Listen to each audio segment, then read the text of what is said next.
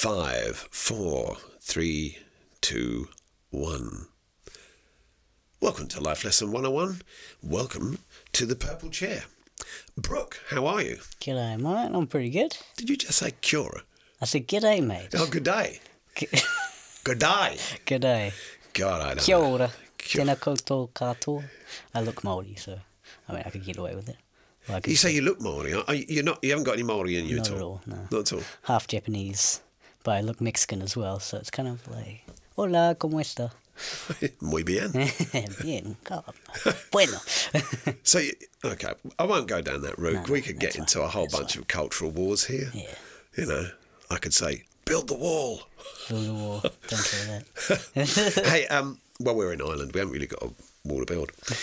So um, let me just, let's just. Uh, you're, I figure you're a different man today, I suppose so. physically. Yeah, How about mentally? Do you think mentally you're different? definitely. Yeah. Definitely. Do you think that's the biggest change? I think, yeah, definitely. 100%. Right. Oh, wow. Hey, just pull It's that mic a little bit closer to you, man. Just, yeah. Little, there you go. Yeah, it's cool. It won't attack you. Although it might. Day. Uh, so, um, you've got a really amazing story. Hmm. Although, you know, yeah, I know. Okay, whenever we say, you know, you got an amazing story, I mean, there's hmm. always a question in ourselves whether or not our hmm. story is amazing. But Yeah. For me, I think I think it is. So I've known you about a year now, mm-hmm. and you came to me as a, a student, and I didn't learn until very recently about what you Have accomplished, I have suppose. accomplished. Yeah. Um, outside of the voice, mm. and you're coming on really well anyway with the voice, so it mm. shows you're a guy who's got determination. But mm. what I wanted to do before we get into this uh, discussion about your transformation, It's just, it's just like right in my face. it's fine. It's fine. It's fine. It looks great from the camera angle. So oh, Yeah, it's all good. Um, you were a big kid. I was pretty chunky, yeah. I was thick.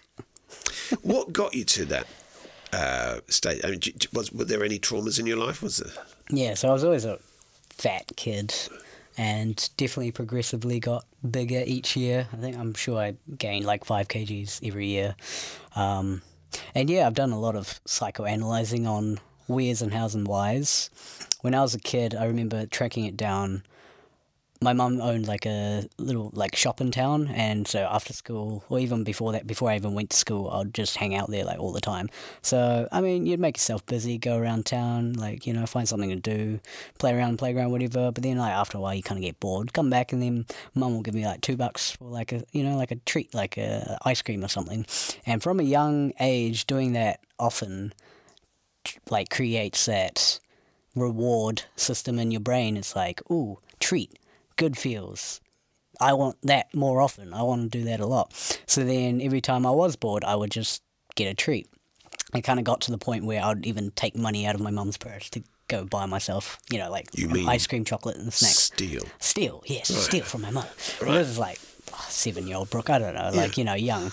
And then I definitely learned that boredom, well, I, I created that annoying kind of connection that's like, I'm bored, snack, good feel. So then that became a habit. And then comfort eating, eventually, like essentially, um, boredom or just alone, I suppose. Mum worked a lot and yeah. So you were single. But your mum was single. Uh, no, no, Dad was there, but like I think I just spent more time at the shop, you know, just because like she had to stay over and stuff. Um, so that created that habit, I think, and then as you know, it, it became a coping kind of thing, like a cru- crutch. Um, you just go to it's like it's like your first drug addiction, essentially, food, and, and especially sweets. Like And it's, but it's it's a drug that you can't do without. well, that's the thing. Yeah, food is it's hard because it's something you you need. But yeah, generally it's more the junk food like sweets and such. Um because sugar is highly addictive, especially you know to kids as well. And they say it's like seven times more addictive than cocaine. So like again, it's because it's like it doesn't seem that bad for you, and it's really nice. So it's it's easy to get hooked on, obviously. But yeah, so definitely, yeah, I was, I was big, very big. Yeah. And so so, I mean, take us through your your kind of routine as you as you grew up, and I mean, so here you are, a seven year old making money out your mother's purse. uh, but the life of crime didn't continue after that. No, no, well, no. but definitely did that quite a bit. But you know, just like even at home, you just find random food to eat, and just whenever I was bored, I'd eat. And you know, it's funny because like my my mum and my brother had a funny way of as soon as like I was pretty big actually. You know, like pretty much all my childhood I was fat, but like their means to make me lose weight was basically to bully me. It was Really? pretty much. It was just kind of like just fat shame me. And this is like my mom's Japanese, and it's like kind of a weird culture, like where, especially in Japan, it's not very acceptable to be overweight. Um, it's not normal per se, and literally, What, ki- even with sumos? Yeah, that's weird. That's weird. Like it's like because it's a sport, it's like it's allowed and accepted. But like in schools, like kids get absolutely traumatized and bullied for being even slightly overweight. You were brought up in Japan at all? Nah, ever? nah. I, I mean, I went and visited like Right. every year when I was a kid, but yeah, but like, even then, like neighbors in Japan and stuff would just kind of comment on just how big I am, be like, "Oh, you're quite big, aren't you?" You know, Oh, right. As a kid growing up in New Zealand, like it's not, you know, it's not that uncommon. You know, like we've got a bigger obesity kind of rate in New Zealand in comparison to Japan, anyways. But you know, it was kind of weird. It's like, oh, why are these people just like so caught up on this? It's like because you're a kid, you don't really care about how you look per se, and so I think that's why I never really tried. But yeah, it was it was kind of like I remember mum said it's always in Japanese. It was like, uh, she you know just kind of fat shame me or whatever, just call me fat. And she's like, if you feel bad about it, do something about it. Kind of, it's like in a weird way, she felt that her like like making those comments would make me feel you know something to do something about it. But I'm, I'm just a kid. That just makes you feel shit, Yeah. well, I think I think that's um. and that in turn makes you want to just go eat more as comfort. I was I was told something a little while ago, um, and there's an element of truth in it. Although I I have kicked back against it a little bit, but it was um, uh, my one of my um, therapists from ten years ago now, m- hmm. maybe about that time. He said to me that affirmations are like icing on a turd. Yeah, it doesn't matter how much good stuff you kind of tell yourself. If you feel like shit, hmm. you're still you're still shit. Hmm. You know, I mean, and and and I understand that completely because if if the the confirmation every day or the affirmation is you're fat, you should do something about it. And I don't know if, if you're anything like like me at all, but I mean, I've never been one who's want to work for another man. I've never wanted to obey another man. I've always wanted to be a free spirit. Um, do, do you fit into that character, that category? Definitely. Well, yeah. So, like, does it mean you don't like being told what to do? Yeah, Uh, yeah. yeah, hundred percent. I'm very much like that. I think that's something I've learned to calm down as I've gotten older. Like, you realize that it's more of like an ego thing, and sometimes, like in a workplace, you kind of have to abide by some rules. Like, you know, like. There are managers. It's kind of their job, even if you don't agree with their work, etc. It's kind of like okay, whatever. Like my job title is my job title, so I'll just go with that. But before, it was like I really kind of walked around like, you know, it's like I know better than you, basically. And so like it was like ego work I kind of worked on, but it's a separate conversation, I think. but, but but I think ego has a lot to do with how we perceive ourselves, hmm. right? I mean, so actually, no, that's a good point. I, I wondered why I had such an ego problem per se. Even in school, I was always very belligerent to teachers and authority and such. Hmm. And I think it was always you felt like you're always trying to prove yourself, like everywhere you went, and it could be from literally from that childhood experience of always being told that you're less than Yeah. or like not enough. And yeah, it's interesting when you kind of d- dive into this sort of stuff. Like I'm, I'm into psychology, so I'm fascinated by it. And also, you know, you just kind of wonder why you, you know, do the habits that you do, or even your belief systems. Like where do they come from? So, so your parents. I mean, talking Hmm. about, um, you know, where do those belief systems come from? But, Hmm. but how about your gene? Did you? Did, are any of your parents obese at all? Or? No. No, no, it was just me. And so that's where it's like a clear indication that was just environmental and also how I, yeah, coped with stress and this and that. But, you know, yeah, definitely environmental for sure.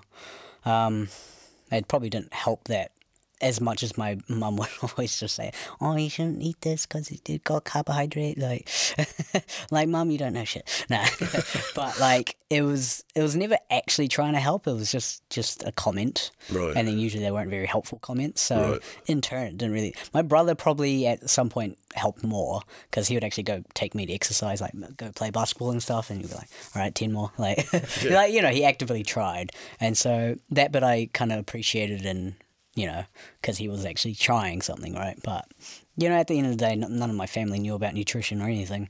That's something I kind of figure out on my own, like completely. And that was, yeah, in um, uni. So basically, when I got to university, I was probably at the worst shape of my life. I was, so what, 100 kgs?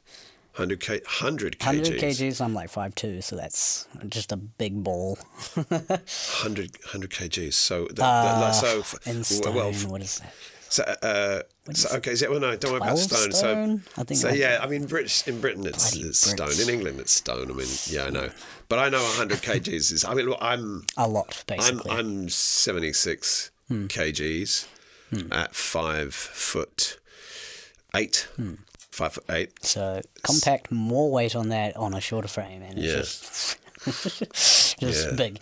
Um, and I used to smoke a lot since I was a kid. Um, when did you start oh, like smoking s- 16, 17, 16? something like that. And so at 19, I was 100 kgs, smoking like you know, like 10 cigarettes a day. right completely unhealthy, so bad. Like it's funny because I was always a sporty kid in school. Like I love basketball and soccer and snowboarding, but it was just my eating. I just had a terrible eating habit. I think. Um, but you had spoke you had you do men- I mean you've mentioned already that you've got that as a comfort food Hmm. uh, or a, a way of comfort. You spoke about loneliness. You said about Hmm. feeling a bit alone. I mean, Yeah, I feel like everyone kind of feels. I think also being fat, like yeah, you know, relationships and stuff, it doesn't come so easy, and it's a bad, vicious, repeating cycle in the sense that you're like, ah, I'm lonely, don't have like relationships, no one wants me, etc. Eat more food to make me feel good, like it's it's very true, and it's it's actually quite common with people who have that kind of food addiction and they use it as a comfort at the end of the day. And a lot of times it does come from a family thing, like either grandparents or parents that used to feed the kid, like, and that would be their bonding time. Yeah. And so as an adult, they attribute those good feelings to, you know, yeah, just good feelings. Yeah. And so you want to continue that. Yeah, trying trying to have Christmas all round, hmm, all Not year all round. the time, yeah. yeah, yeah. Pretty much. I mean, I think oh, there was a guy in the UK who had Christmas pudding every day because he liked the ah, feeling of Christmas Christmas. Uh, yeah. Who likes Christmas anyways? No. Yeah. Christmas. Christmas. Bah humbug. so look, hey, look. I want one of the things I wanted to do um, is to pull up that first photo Hmm. uh, of uh, you on the beach. Uh, Hmm. Yeah, and let's so- have a look at that. Yeah. Uh, so, uh, how would you? Were you here? And um, Um, so here, this would have been before I started my weight loss journey. Um, not not too like bef- not too far before that. English, not too far. not too far. I'm half Japanese. I'm right. allowed. Yeah. No, you're allowed. You speak Japanese, do you? Yeah, I'm pretty much fluent. Yeah, Oh, right. yeah. Wow. But um, so yeah, that that was me. Like, you could just tell in the body language. Like, I'm just just big and Right. just depressed and like you know just Right. not, You, not you kind of had your hunched shoulders. You're kind of walking along there. Yeah. Yeah. And it's yeah, it's not fun being that big, like but it's something you just got used to. And that to be fair, that's all I knew. That's all I ever mm. knew.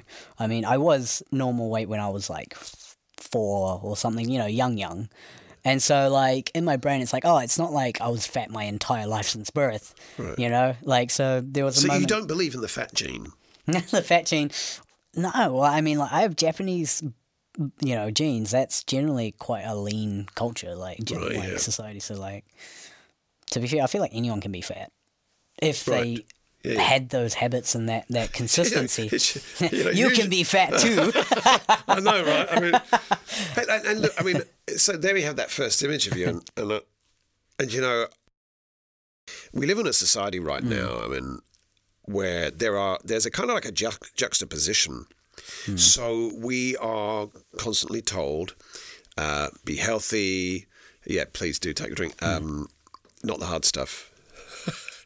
um, but you know, uh, be healthy. You know, you see these guys and they're ripped, um, uh, and it, we've got magazines showing. You know, the Matthew McConaughey's who's really, really just ripped as, and then you have somebody mm. like uh, Channing Tatum. These are actors, these are mm. stars. They've worked on their roles. You know, mm. Jake Gyllenhaal in that Gyllenhaal in that boxing. Gyllenhaal? Gyllenhaal. Gyllenhaal. Gyllenhaal. Jake Gyllenhaal, yeah. Jake Gyllenhaal. No, he's not. It's Bloody- Gyllenhaal, surely. Brit.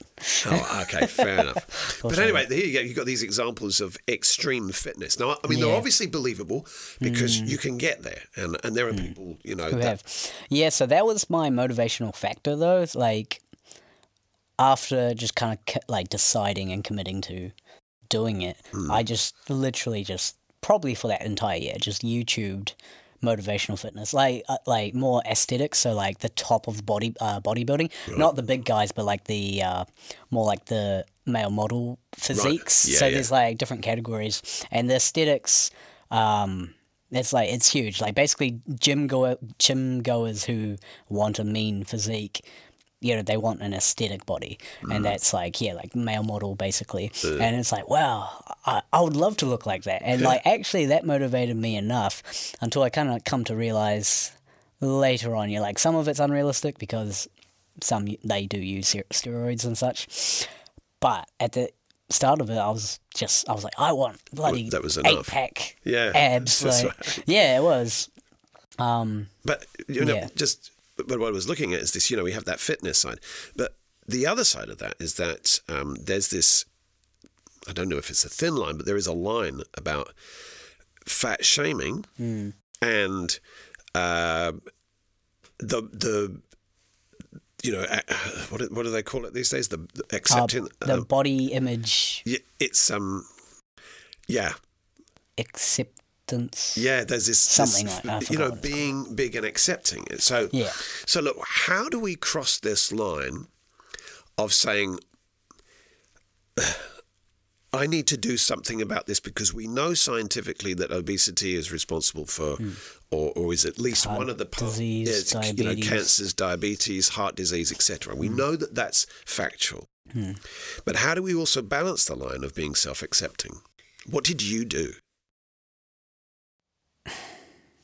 Well, yeah, it's deep because I think it's different for everybody. I think the people that there there's there's always going to be the toxic side of every new thing, Right, veganism, whatever. There's always going to be the militants and then the people who are completely opposing it. right. Uh, and the militants are the ones who give a bad name for people who just genuinely want to do it for because they feel bad for animals. Yeah. But then there are people like you shouldn't even put eat food off the same grill as the same person. This and that. And it's like when you get very black or white, that's when it kind of gets wrong. And there's people who. What? Yeah. What's like accept? Uh, what is it? I forgot. What's the word? Body acceptance. I It's- think it's- it's not even that, isn't it? It's- I- it's something- something it is similar. like that. Yeah, yeah. But like. I get where they're coming from, but then some people take it the wrong way and be like, sweet, I can be absolutely morbidly obese and just accept myself and be okay. Like, there's a point to truth, there's like a point of truth to that, but you should be trying to get healthier. I think, regardless of how you look, you should always be aiming to get healthier uh, and continuously eating junk food. I think actually, yeah. I mean, look. I mean, if you consider it, you know, Hmm. Tyson Fury, he was uh, twenty-eight stone. Now I don't know what that is. Right, twenty-eight stone. Now when he fought, A lot. That's like yeah, two, 200 massive. kgs. It's 400, Oh, yeah. 400 pounds. I Oh, think right, it is. yeah. Some, I think. I think. I think Something it's, ridiculous, Yeah, yeah. something ridiculous. I mean, he's six foot nine, and and he said. Hmm. Um, but and you looked at how he carried that weight; it was all in the front Hmm. and everything. Now, then his his fight with uh, Deontay Wilder, Hmm. he was 19 stone, so that was 270, something like that, 270 Hmm. pounds. 270 pounds is still a lot of pounds, Hmm. but he carried it differently. So. I, I, you know, I think about what you're saying. This, this, this idea that you can take this too far. I'll accept mm. myself. Mm. And if you look at what Tyson Fury was saying, this idea that, you know, I had suffered with mental health issues. Mm. So if you couple this idea with obesity, mental health issues, one could possibly draw the conclusion that if you accept yourself in the unhealthy state, there may well be anxiety, depression. Hmm. If you accept yourself in that way, hmm. but yet you could carry weight hmm. healthily, especially especially muscle. Yeah, well, I think I think the the body acceptance, whatever the thing's called, it's yeah, it's not really about the weight. It's literally about uh, like in the extremes. It's literally people who have far too much excess fat. Like accept yourself. That's never a bad thing, ever.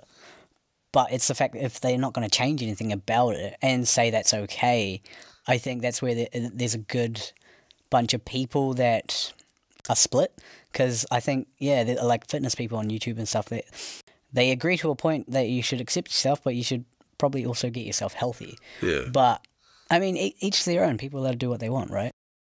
But in the same breath, there are people who are bulimics, anorexic, Mm, which is and yeah, equally bad. Hmm. Yeah, we worry about those people. We worry about them, and and we um, it- we are really. I mean, I think of many. I mean, you probably won't know this one, but I think of a. I think her name was Lena Zavaroni from years ago. You know, uh, Karen Carpenter. Don't know these names. I'm obviously very, very old. They're old. But you know, the, you know, the the problem wasn't obesity. Hmm. The problem was not being um, having any the right nutrition. Hmm, hmm. Effectively, mm-hmm. there was nothing. There was nothing there. Yeah. So, if we care so much about people who haven't got the right nutrition, mm. uh, uh, and we, we do care about people who starve, don't we? Mm. I mean, Well, there are obviously, yeah. charities mm. based on feeding people, right? Hmm. So, Yeah. I so on the other end, Yeah. why shouldn't we care about people who are? I think that's the thing. That's where the stigma comes in, because I think fat people. I think that's the thing. It seems like it's kind of like fat people versus skinny people. It's like this war, and when fat people get shamed, it's because they're kind of out of the norm. But then it's like so are underweight people, but because they're underweight, just because they're not fat and maybe in clothes they look okay. Do you know what I mean? Like they're thin, and like that's what fat people aim for. So it's like they don't get as much hate because it's not as starkly different. Uh, and I think yeah, the acceptance thing comes from fat people being just shamed for too long, which is also not good. Like what? Like don't don't go bullying people. Basically, like that's it's, I think it's just common sense Yeah, but it should be down to the individual to want to do whatever with their body. Mm. So yeah, but it's yeah, it's hard. Um, it's it's a touchy subject, I think, for some people. It is. So on your journey, Yeah. Oh, so- sorry. no, go on. Like, I mean, because I remember when I was a Into kid. the mic. So, Oh. Well, no, you don't have to touch on. it. I'm just saying more this way. yeah. Because I remember, I think just like my friends and my family, like my mum and my brother were my, my worst bullies basically in school. I mean, Right. like school age. Like You all my hurt the ones friends, all, all my friends, like school people I was around, literally never commented on my weight, even though I was big. I think that, you know, it's just the acceptance, so I accepted it kind of thing. It's like I never had a problem with being bullied. So, like, it wasn't such a big thing for me to want to change, but that's not the same for everyone. And it's a really sad fact. Um, I do remember one time, though, it was like maybe year 12, so I was 17, 18, uh, probably like 17, 16, something like that. Um, one of my close friends, well, I think we were about to get lunch or something. We were in the car, and he was like, "Brook, like, have you ever like really, really? I don't know what he said. It was like, basically, he was just like really concerned about my weight. It was the first time my friend really sat down and told me like, "Do you feel like?" Oh God, I wish I could remember what he said. Do you think you're healthy? It was something along the lines of that. It's like, and have you ever really considered trying to lose weight? And it was like a, a very somber, serious kind of tone of voice. It wasn't a joke. It wasn't. I was just like, oh, it's like the first time anyone really pulled me aside and like addressed it. And I was like, oh yeah, yeah, like I exercise and stuff. Like, yeah, like because I played sport and stuff. So I think that was my excuse, even though I didn't eat well. Um, but I think that sat with me for a bit because I was like, oh, that was odd.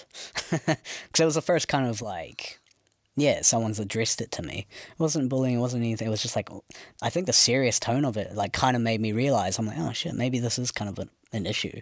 Well, you you've got this photo of you at eighteen, Hmm. uh, and then you what I think it was a couple of years later, was it? So yeah, it was at my fattest and roundest is photo on one side.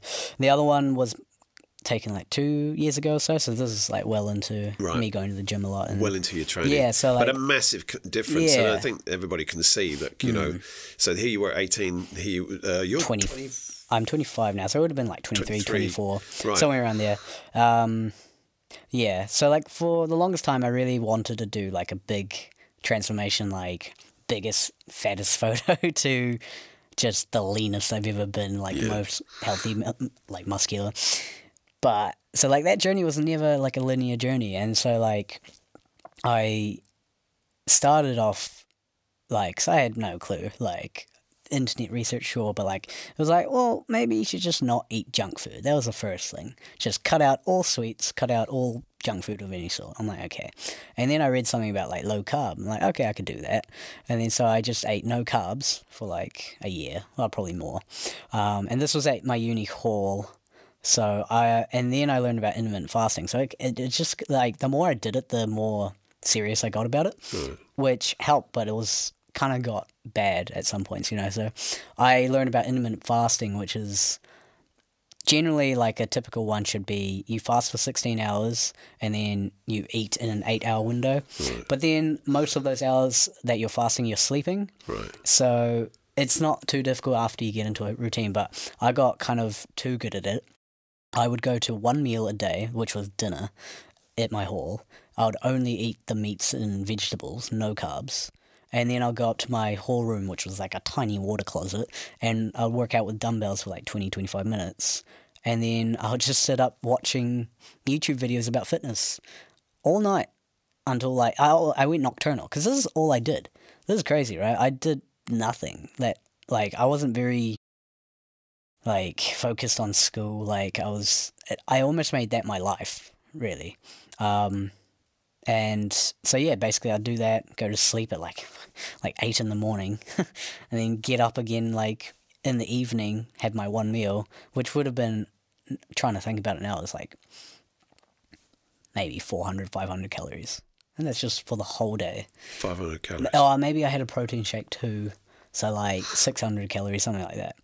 Um, and yes, you lose a lot of weight doing that, a hell of a lot of weight, especially the low carb thing. That's definitely um, helpful, but yeah, so like maybe because the first semester I went home, um, semester break, there would have been like maybe like two months after I've started. I come home and I'd lost probably like ten kgs, two months, maybe a bit more, like fifteen kgs. And so like that was the first time because like I didn't have weight scales at my hall, so it was kind of like I was excited to go home and see how much I've lost. And I was like, whoa, like I've never lost that much weight in my life. Like anytime I tried, maybe I lost like two kgs or something. You know, it was uh, nothing uh. significant. That was like that was a motivation factor. I was like, oh, sh- like shit, I can do this. And then that motivation made me just go into it harder and just keep going. So I did that for like a year. And then, so that was my uni year, and then I came home.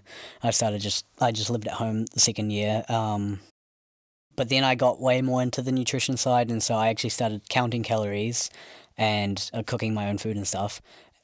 But it was still like, in my mind, I felt the lower the calories, the better. Like that was a good day for me. So Right. 700 calories, that was a good day. Go over a thousand calories, that was a bad day. And like a thousand calories is not much at all. And I'm exercising as well. Yeah. Now I'd started doing more cardio. I was doing rowing machines and stuff. So like, yeah, basically my body was completely in starvation mode. Like, um, so so you had this this motivation, mm, and you see this archetypal human being with rep tabs. yeah, you say, okay, I want this, but uh, and I and I understand that. I mean, I understand understand that from a man's point of view. You know, you go, hey, gosh, this could be better. You know, yeah, um, you know, there's always this joke that you tell when you get a little bit older and you go, hey, I got one ab.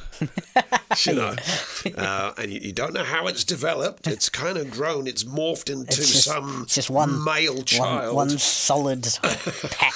yeah. one pack. Uh, it's getting better though. But um, so, um, but you you mentioned the fact that you took it too far.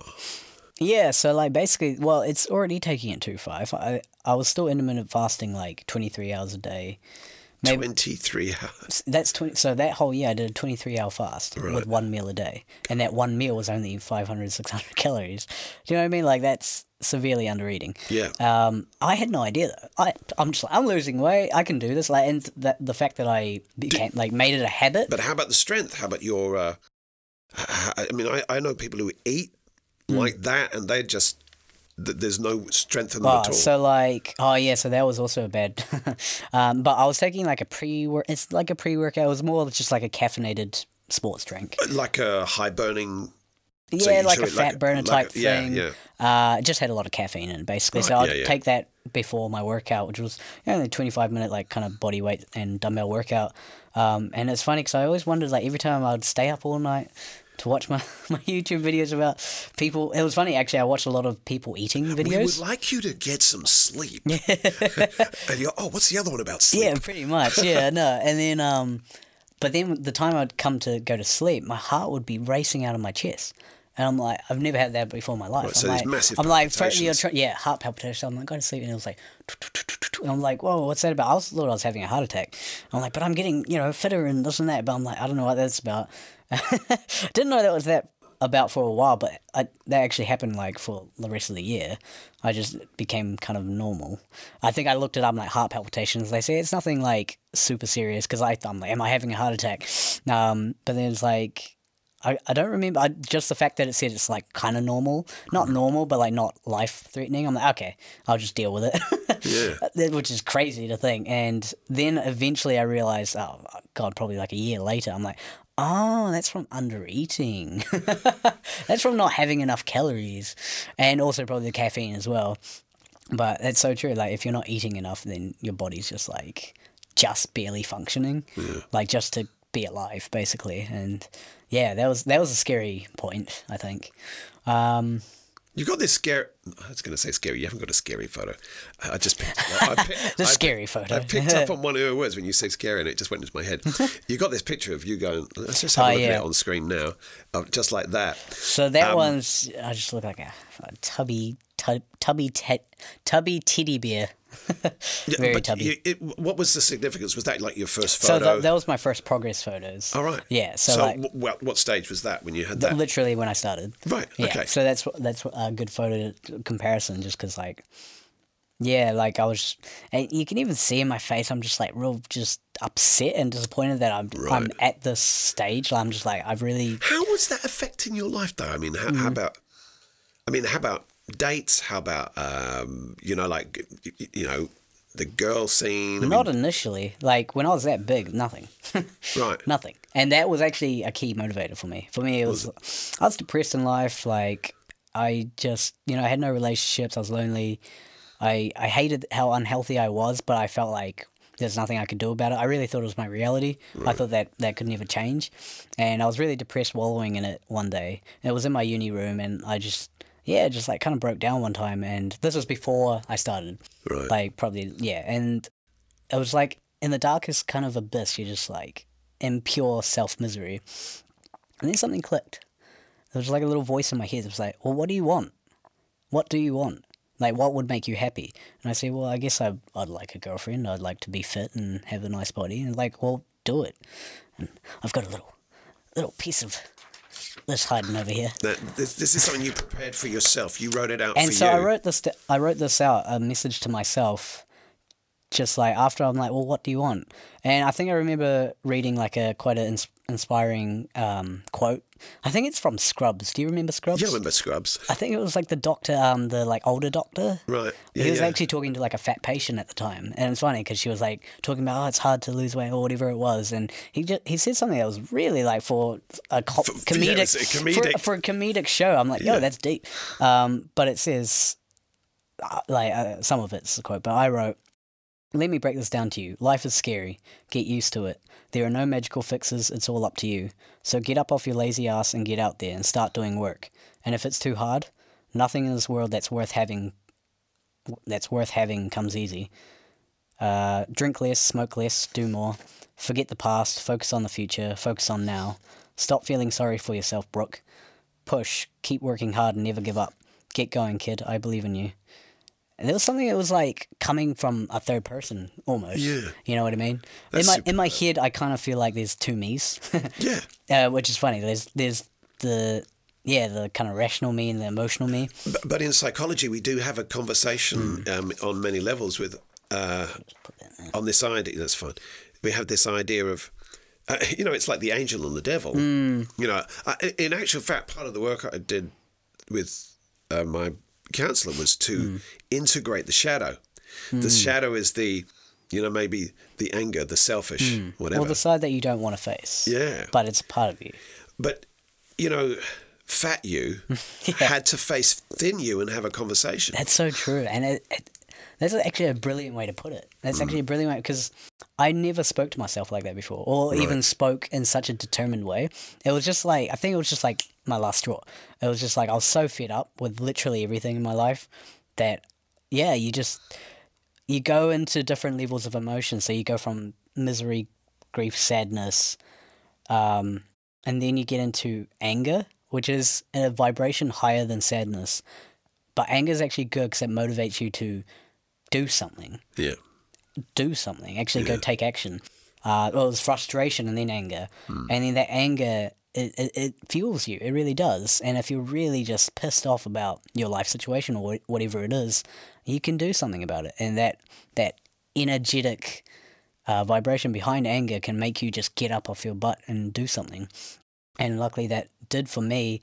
And as soon as I talked to myself so sternly, I um, it, it kind of just it resonated, you know.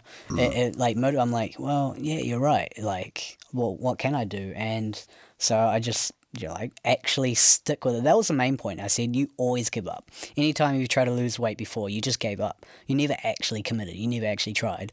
And so like if you just stick with this for eight months, you will see results. I don't know why I made it eight months, but I just I just said do that. And if nothing's happened by then, then give up. Sure, eight months. That's your goal. It's sometimes it's actually very useful to give yourself an out. Hmm. You know, there's a there's a place that you go, hey, look, it's eight months. I can hmm. do this for eight months. yeah, You know, yeah. Instead of just forever, like something about eight months. I think maybe it was the end of the year or something, and I was. I, it was summertime. I think it was coming up to eight months to summer. You know, you want to get Yeah. look good for summer kind of thing. And I said okay, and then just kind of. I think I bought a protein shake instantly online. Never done that before. And then uh, what did I do? I think I got like a little food diary, just like a piece of paper printed out, just like write what you eat a day. At first, it was just common sense, just eat, just not junk food. Right. And then, um, yeah, and then exercise. I did like 20, 25 minutes of just dumbbell exercise. Literally that. I didn't even do any cardio. Yeah. And um, so he did that for a bit.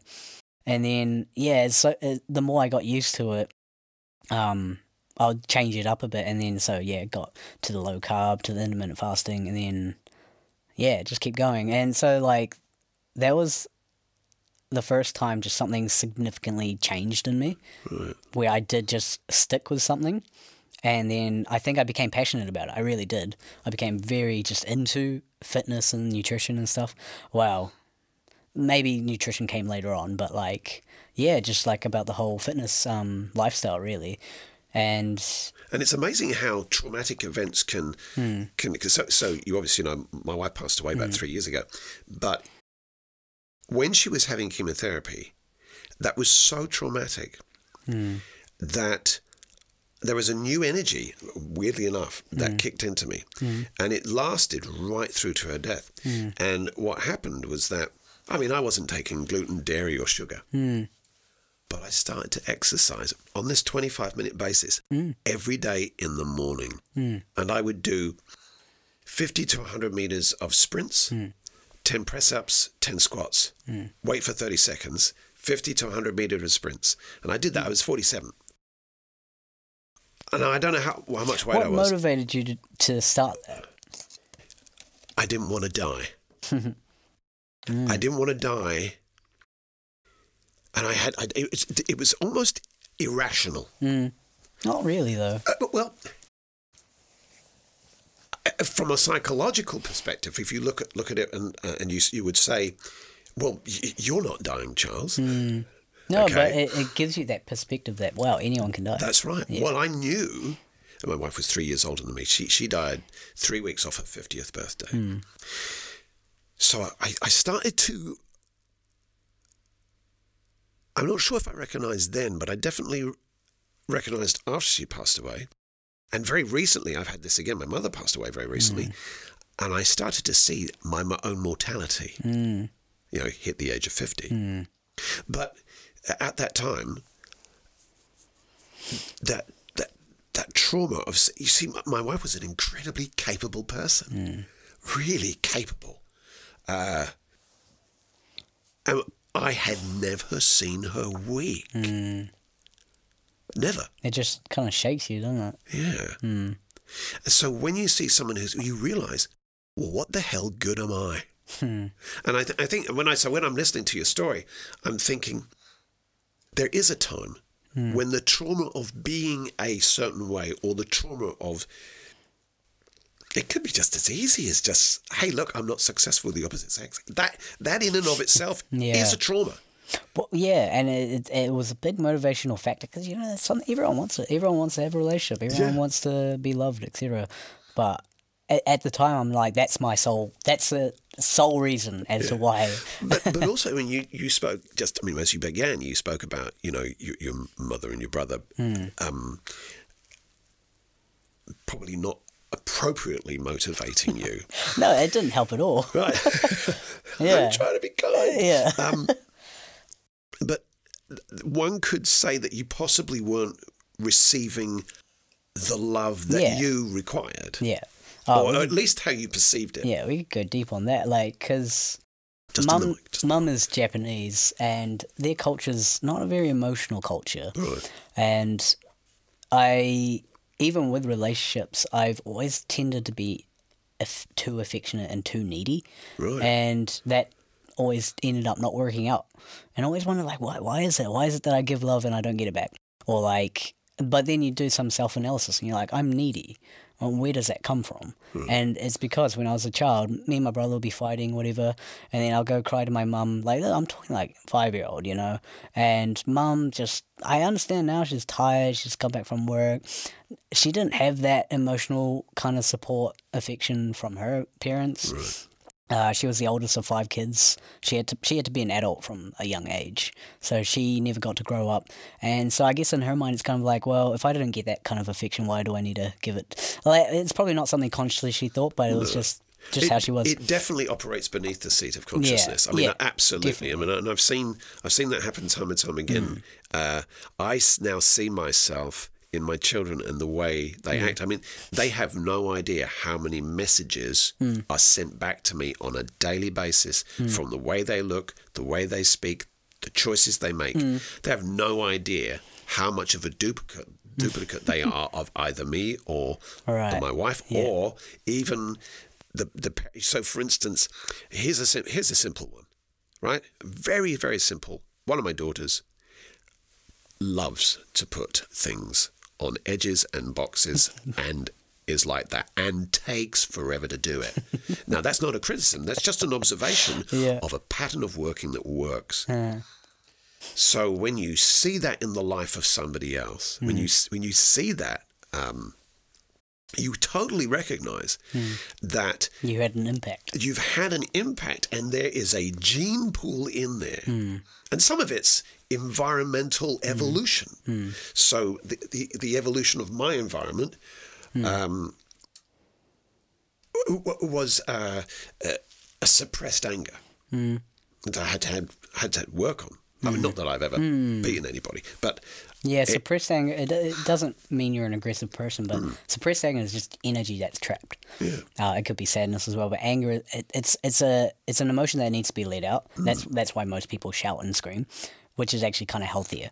The ones that bottle it up generally it comes out in random bursts or just never which is toxic for your body, literally. Yeah. Like emotion is, yeah, it, it stays in there, and it's just not good for you. Well, I was listening to, um, I don't know if you know Candace Owens. She's a political commentator in the States, and she said something interesting. She says, I don't hate anybody because nobody feels my hate, only I do. right? Well, that's true. Nobody feel. I feel the hate. Hmm. It's toxic to me. The hate I feel is toxic to me. Hmm. And so, uh, if I in my head hate you, Hmm. you don't feel that. Well, yeah, if you keep it inside, yeah, it, I mean, know. it's not doing anyone a service. Yeah, that's right. So, so uh, okay. So you've you've um, you've come to this point. You're doing this muscle in that photograph. You've you've gone this plan. You've had these ups and downs. So, in the end, what was the point when you go, okay, I've I'm on this trail now, but I'm really fucking up. What when, when did you say, okay, look, I've got a hold of this nutrition shit? Well, where did we go? We went from relationships to I don't know how it bounced off from there, but oh, because we were talking about Trauma. my Yeah, my motivation, mo- motivation. thing. Then I went way back and talking about my mum not giving me affection. Yeah, that's right. It was just a big thing, but um, yeah. So I kept going, and then I started getting into um, tracking my food.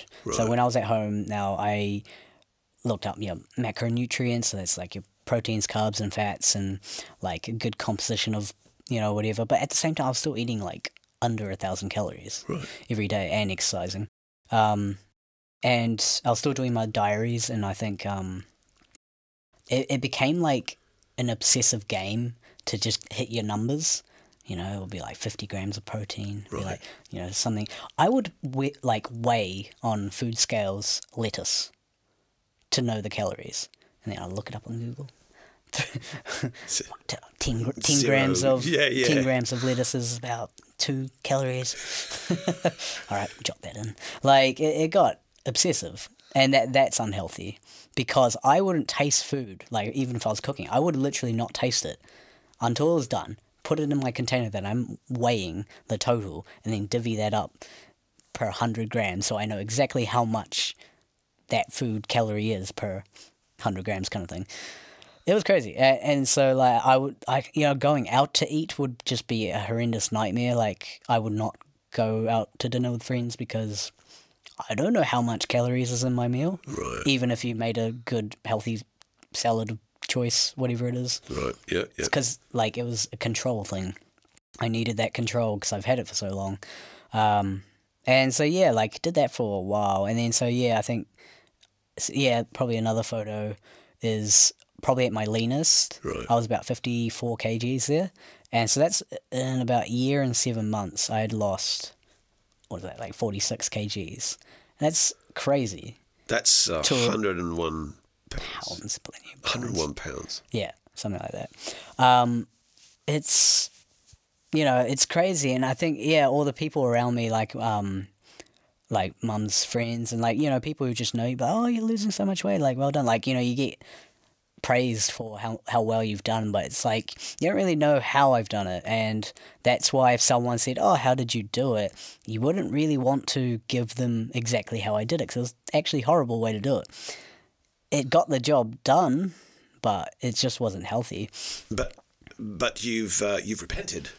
Well, so like, so that's right. So I kept going, and then when I got down to my lowest weight, I think it, it was like the end of the road. Like my body had just had enough. Almost two years, well, probably two years of just under eating, literally under eating. So you're obsessed. I was obsessed, but then so from there it was just my body just craved food, anything, and so I would binge eat, meaning you'd you'd hit your goal of whatever thousand calories it was, would be sweet, and then it would be like you'd be up watching TV, and then you're just like, oh, maybe I just have like one more thing, and then uh, because I had that one more thing above what I already like what my limit or whatever, I'm like, oh fuck it, like I just went crazy, mm. and you just eat a thousand calories in one sitting, like just anything. It, it wasn't even good food. I just get like toast and butter and So the very so the Like very thing that you were and- looking to to not do, you ended up doing as a result of doing something which you thought was beneficial. yeah. Well, the thing was like you just thought it was oh why don't I have why don't I have willpower anymore? But it was just your body literally is craving, Craving, food yeah. that it will just do anything to get it.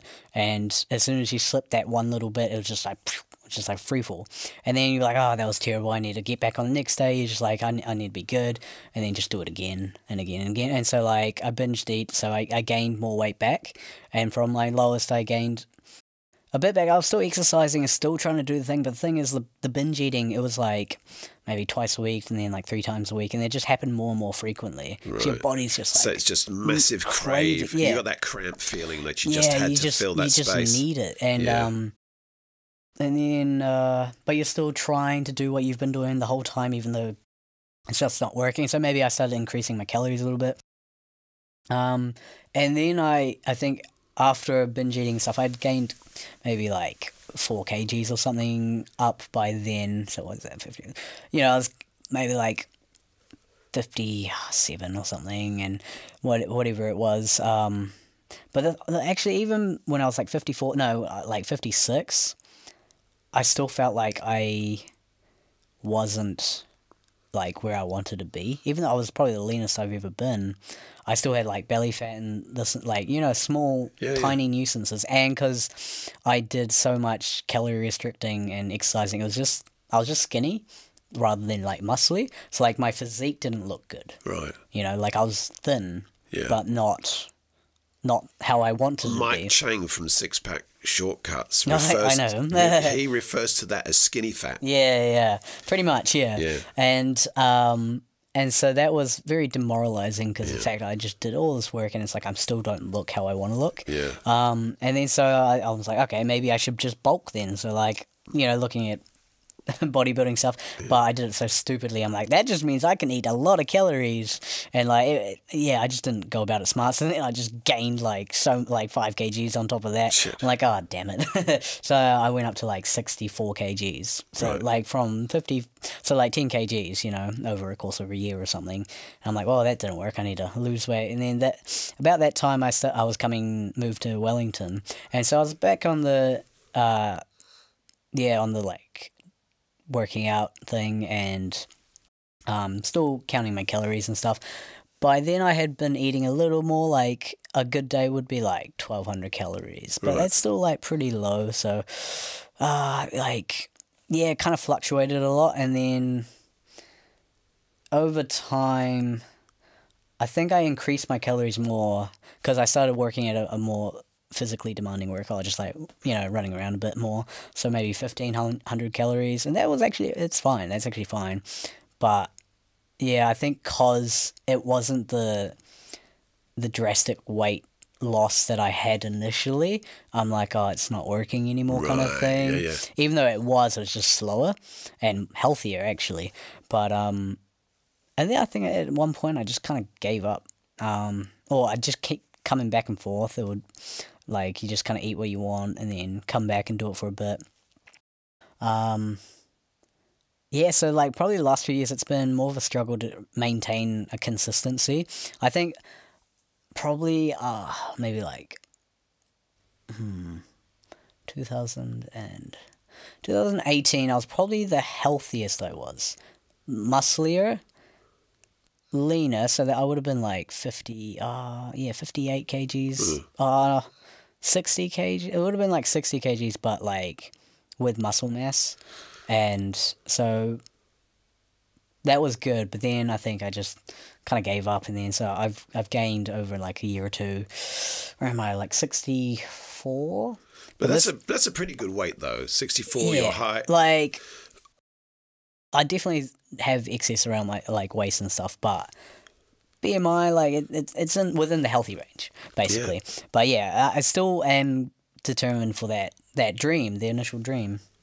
Is that Oh, the light's just gone out on the camera. It is. But yeah, so like in the last year, I just kind of gave up on the whole, the dieting aspect of it. I just kind of, I just stopped. I just completely stopped. You seem to be eating normally now. But though. that's the thing. After I stopped, and then I, you know, you ate whatever you wanted. After a while, it kind of gets old, and then you just eat intuitively. Right. So you just you just know what's kind of good for you and what's not good for you. So you just And- get rid of the shit and you go, well, okay. Yeah. You know, I mean, do you, do you have cheat days? Like, you know, I don't mean cheat days. But I like- mean, do you have ice cream? But yeah, well, but I'm talking like I just had no rules anymore. But Cool. because I it was so just I just you know stopped.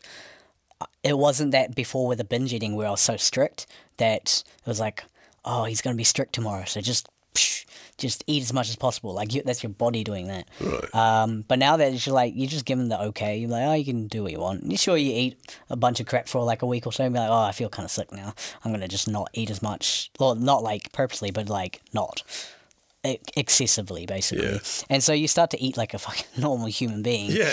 And back then, back when I was measuring and stuff, I I literally didn't know how to eat like a normal person. Like I didn't know how to eat without measuring my food Yeah. um, it scared the living daylights out of me to be like, oh, I can't track things. But I'm so glad that I don't have to be like that anymore. Nowadays, so like when I go back to the gym and get to a routine, like I don't need to track anymore. Before I thought, oh, when I get want to get back onto it, I should track. Like sometimes I, I consider doing it, but I'm like, nah, you can just kind of do it intuitively because I, I generally know what's good for you, what's not.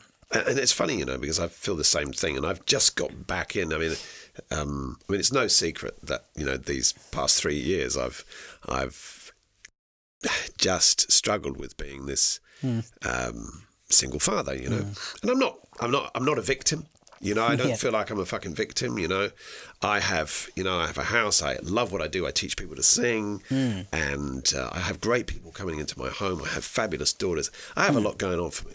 But that idea, the very essence of unworthiness, that I mean, I, I don't know if you can relate to that Well, in terms of Yeah, so like uh, as I was saying, when, even when I got down to my lowest weight, I just wasn't happy. Obviously, how I looked, and then I think from there and then on to about now, like throughout those years, as much as there was still the fitness and the food stuff going on, a lot, a big mental shift happened. It was a very philosophical, spiritual kind of thing, uh, where you're just learning more about life and the things that have happened and how you've gone about it and why. It, it you know ties into psychology as well, and yeah, at that time it was like just because I wasn't my ideal goal physique, I still felt unworthy. I still felt like that fat kid. You know, there's still days today like that you can't, because that was your whole life for what, for 18, 19 years. that's right, yeah, That's a long time. That's more than how long I've been doing this fitness journey. yeah, Um, to have that mindset of I'm unworthy, I'm always just going to be fat. And so when I did maybe spill over and gain a few pounds, you just feel fatter with each more Yeah, yeah. weight you put on, and you're nothing like how you used to be. And I do have to remind myself, like, look at that photo, like, like you're nothing to who that person was, basically. And um, yeah, and so like it's a big philosophical thing, and yeah, accepting yourself, I think, um, ties into it. And yeah, just loving yourself at the end of the day, and Yeah. I, I th- and yeah, during this whole whole thing, it's like my confidence, basically. Yeah, losing the weight it helped with the confidence, and I think the more you feel good about yourself, exercise helps you make you feel good about yourself. So Yeah. like, it all kind of helps, and then obviously the relationships come after that. Oh, Definitely. look at that. That's a face that says, "Oh, there's a relationship. this is kind of cool." And you know, it, but it wasn't really the weight loss. It was definitely the confidence and competence you felt from it. The the control, the fact that you can actually do something about your problem in life Yeah. and actually find a solution. I have a, a, a little bit of a theory, thesis, if you like, and it goes along the lines of control. And I think often what control often is uh, a word that we substitute for the, the real word of Security. freedom. Freedom. Yeah. Yeah. So I th- I think what happens is confidence, um, and they don't have to be mutually exclusive. I'm not saying that control and freedom aren't you know they're they're, they're separate in their in their roles. But I th- what what I see. Uh, and a bit like when I teach with voices, in the end, you get to know so well you Hmm. that you're no longer counting, which is the control. Hmm. You're just living. Hmm. And so th- it isn't an, an element of control. Matter of fact, in Alcoholics Anonymous, they have this phrase and it says, let go and let God. Stop trying to control and let life happen. Um, Definitely. I think that was a big part of when I stopped the whole tracking food and this and that. Like, I actually allowed, accepted that I don't need to do that anymore. Like I don't need to feel like I have to control every tiny little bit that I eat, and that was when I was just let yeah accepting just life a bit more. Yeah. I think accepting the present moment and also accepting just how you are, like how you look and just where you've gotten to. Yeah. And it yeah, it helps just ease the mind because before what was driving it was you're not good enough, you're not good enough. Right. You, you don't look good enough. Like that, that was the whole driver behind it. It was a negative driver. It's a massive load of shame and unworthiness in the world, you know. And I think there's there's a big drive um, to combat this, but we're combating it in the wrong way. Hmm. And I think because we're looking for the control, um, and I, I can't help but think that this lovely little saying "live and let live," you know, allow allow freedom to be the, the the divine principle that we're heading for: liberty, freedom. Uh, just as I teach in the in singing, I wanted to tell you a funny little story. Actually, just um, Yeah. just so 20 years ago, I was working in a, an office. It was a sales office, and um, it's where I met my uh, my, my best friend Steve uh, in the UK.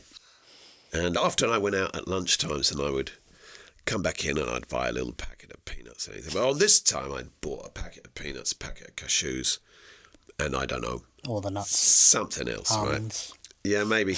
Uh, but there was three packs. Each one was like two two thousand calories. You know, yeah. every pack was. You know, Oh, yeah. it was just there, just a snack on kind of thing. As I was making phone calls, and Steve was sitting on the other side of the dividers as I was making calls and nibbling and what have you.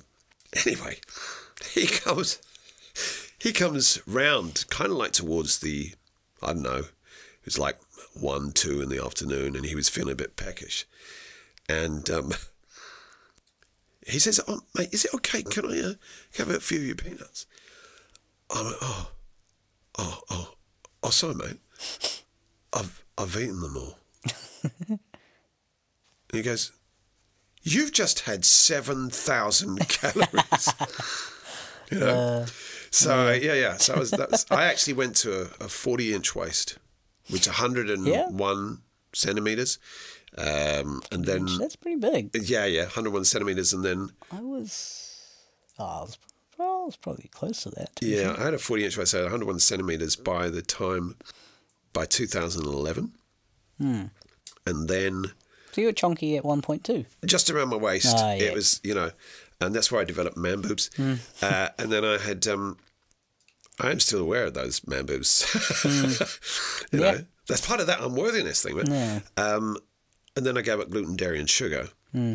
And then I started to exercise. And seven months later, I'd had a 32 inch waist, which was uh, 80, 80, 83, something like that. Yeah. 82, 83 centimeters. Yeah, nice. Yeah, yeah. But then, Good on you, mate. yeah. Well, you know. but uh, no, it's just funny. I was sitting there and I'd eat, eaten 7,000 calories. Yeah. Well, yeah, I've definitely.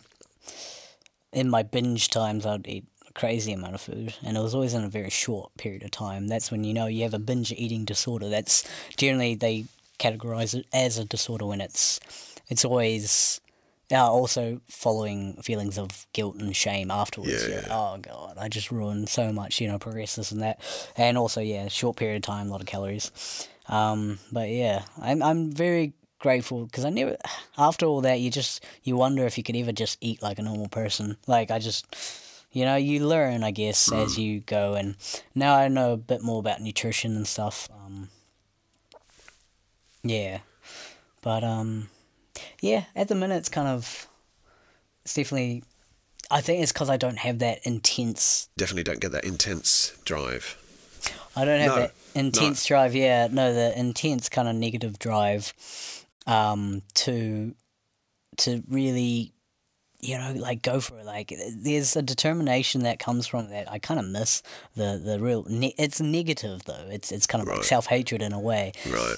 But it's such great fuel, and it, it gets you motivated to do things. But now it's like because I've accepted myself so much, and I, re- I generally love myself too much.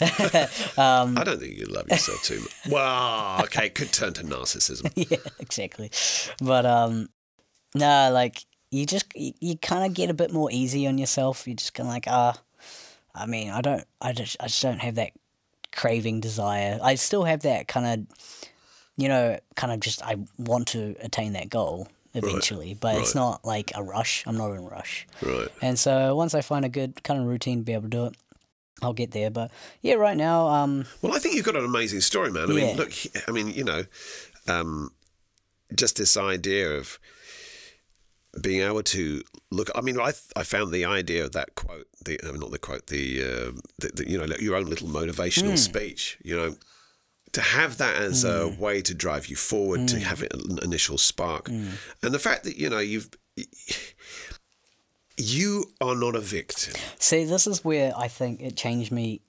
Like, I'm two different people because before, like, my whole childhood and up until that point, I was a victim. I just said, life happens to me. This is just how everything is. This is how it's supposed to be. Like, I can't change it. Until that moment when I became the one in control, I said, well, what do we want? What do you want? What do you want to do? And get it. Go get it. Find it. Find the steps to do it. And it's funny because now I'm just so like that. Anything goes wrong, I'm just like, okay, what can we do? Right. to fix it. Yeah. Like it's it's not really emotional anymore. And yeah, you just when you realize you have that power to be able to take control, to do what you want, whatever that is, yeah, your mind kind of changes and you're like you, you get you get uh, responsibility put on yourself. There's a quote, and it's that, that's real treasure, but right there, okay, to me, that's real gold. There's a quote from a a, a woman who spoke to her son, and, she, this woman lived. She was black, and she lived through segregation in the states. And we all know that segregation, uh, terrible government policy, you know, it just shouldn't have been there. But she lived through it and brought her son up through it. And she said to her son, she said, Never blame another man for your failings, hmm. even if it's true. Now, I thought that was an incredible statement because, you know, segregation was a real thing. That was real racism, hmm. really right in your face. And someone doing something to you. Absolutely, it was hmm, cir- Yeah. it was a circumstance that you, as a black individual, could not escape from. I find this incredibly brave words. Don't blame the circumstance, even if it's real, even if it's real, because sh- because she said this one final thing. She says, because when you do that, you give another man your power. Hmm. And, and that's hmm. what that's what I like about your story is that what you've said is in, in, in my mind is hmm. actually I'm not going to give the circumstance my power. You know, Yeah, the the victim mentality a lot of people are still in. Like and generally people who are in the life happens by me yeah, there's life happens to me mentality, life happens by me, and then there's like the more philosophical life happens through me, and that's more like spiritual sort of stuff. Um, but yeah, it's it's very empowering when you kind of have that moment when you're like, oh, I can change something that I don't like, and then that really makes you feel like, oh, I can do anything really, and that's extremely powerful. But a lot of people really remain in that victim state where they're like, oh, this is just my reality, this is life, like. but also there's a reinforcement, societal reinforcement. Um, it's almost like there's a necessity for someone to be a victim. And I, uh, when my wife died, it was true that I had been a victim. Okay, I was a victim of a circumstance, and so were my children. Um, no one was to blame, really. Um, the cancer took my wife. But I had people say say to me, just actually blatantly say to me, "But Charles, it's okay to be a victim of this." now that, in and of itself, is true and mm. is supposed to be loving, isn't it? If you listen mm. to the way it's being said, but Charles, it's Yeah. okay. It's okay to be that.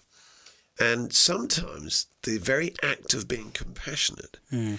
is the is the is is the downfall of empowerment. Even though I'm, yeah, even though I don't like to call it empowerment in some ways, even though I know what it means. You know, in power to be empowered. Um, it's like everything is stripped of you, even your pride. You know, even that good. It's kind of like you're allowed to just give up, kind Yes, yeah. of given, given to the sadness. And I think that's a real, yeah, given to the sadness. Now, I, Hmm. I'm not saying that one shouldn't experience your emotions. And I think, but one shouldn't tell you how you should feel. Right. So a good story, and this is quite deep. My father died when I was like 15. right, Um, I dealt with it very strangely, and that's some circumstances leading up to it. I just it felt like a premonition, like I kind of felt it coming. It was a freak accident. Um, he was in like a caravan explosion. That's pretty crazy. Um, Here. uh, in Christchurch because he was a camper, like he was went camping and stuff. But I just, you know, it was just something like I, I feel like I'm very intuitive, and for some reason, I just felt something not great was gonna occur, and it was still random, but yeah, uh, I do. I just remember not feeling particularly. It was strange. It was like he just couldn't really absorb it. I guess. Like, was that denial? yeah, it could have been. It could have been. But at the same time, because it felt like I felt it coming, that it just felt like, yeah, it was just a bit weird. Um, and so, like, my, my dad's side of family come down for the funeral and stuff, and, like, they've cremated his body and everything. My auntie's on my dad's side, just, like, his sister forcing me to cry, like, trying to make me show some sort of emotion, because we were really close, like, you know. Um, and obviously that sort of she was like just cry for your father like it hurt me that i she was so sad that i wasn't sad. It was you know that made me sad in a weird way. But obviously like i had my my grieving in waves like more afterwards. But uh yeah at the to- the whole thing it was just i didn't feel much. It was strange. I felt i guess surreal but yeah it was it was a weird time for sure. But at the same time sometimes How did that affect your eating, though? Um, Or did it? Was, it? it was, it was the same. Still the same. No, Still- like nothing really like changed. Right. The only thing it was just that I felt like that had to happen. Like life, kind of. I don't know. It was. It's a weird thing. Like without it, like my mum wouldn't be in this beautiful house right now. Like Right. the insurance money helped us because we were in, in a bad spot. Like Right. dad was just just felt like he was crumbling a little bit. Yeah, in weird ways, and he was just maybe not thinking so much, you know, and you know, it's just weird things that I just saw, and it just it didn't come as a surprise in a weird way. Yeah, so like, yeah, I don't know, and uh, I don't know. I just feel like any sort of severely terrible thing in life, life is always kind of creating it for a purpose, for a reason, for a lesson at the end of it, and I don't know. It- I just feel like I wouldn't be where I am if those circumstances didn't happen. Hmm. Don't know why. Well, I think that's one of the things that I, I, I, I was watching a video recently, and the guy speaking said, "Look, you know, the the real way in which you can gain meaning in life is that everything that you do matters." Hmm. And I guess if we extend that, and I'm I'm loath to give things meaning. So, for instance, you know, that happened because, but you've just acknowledged that It happened. I yeah, it happened, and therefore this is me. And I think when we acknowledge something um, and its impact on our lives, we are able to draw meaning from it rather than give it meaning. You Yeah, know, like so. For instance, you know. Um, uh, I found my shoes this morning. God must be aware of me. Oh, I know I don't have any problem with anybody who feels that you know God is aware of them, but that's giving a, a circumstance a meaning. Hmm. Whereas you could say, "Oh, I found my shoes. I'm so glad I did," hmm. which is then see, seeing a, a benefit from a circumstance. You know, there's a that Yeah. you've seen the benefit of your father's yeah, yeah. I guess the, pos- the positives, the silver linings, I guess. Yeah, the silver linings. But, I um, mean, it was a fucking grey cloud, man. Yeah, definitely. But and I think that's what I was getting to is everyone around me would just expect you to be in bits. And so their kind of response is always, I'm so sorry. Hmm. Like I was just so strangely nonchalant about the whole thing. Hmm. It was very bizarre. Like I'm just like you know, and I, I didn't bring it up for a long time for like people I met, like not in the sense of like I was so upset about it. I didn't want that sympathy. Right. Because I knew as soon as I'd bring it up, like, oh my god, I'm so sorry. Do you think that you would have embedded yourself more into being a victim if you had heard the story more about, you know, as you recounted the story of your father's death, Hmm. then you embed yourself into victim? Do you think you were in that place? How do you mean? Well, so for instance, if you tell the story often enough, you might say, well, yeah, actually, I am a victim.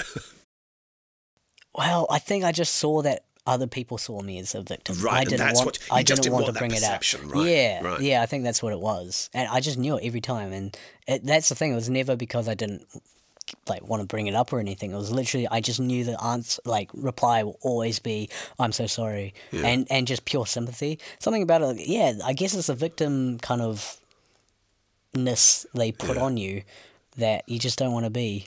And there's a weird balance because you don't want to offend someone and tell them to fuck off. Hmm. Yeah. Because you know your your your condolences or whatever are. Yeah, it, it wasn't that I didn't.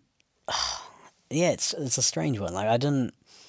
It's not that I didn't want. I just didn't want them to feel bad. This is the thing. Yeah. My friends felt worse than me. This is, this is where I felt like a zom- like an emotional zombie at the time. Because everyone around me were way more affected than me, which is the strangest thing. Like my best fr- friend and stuff. Like he was at rugby, and then he got the he got the news, and he just like just couldn't play the rest of the game because you know you know like it's like friends are always around at the house and stuff and like it was just but everyone's like emotional shock was more oh my god imagine how Brook's feeling if i'm feeling like this. Right.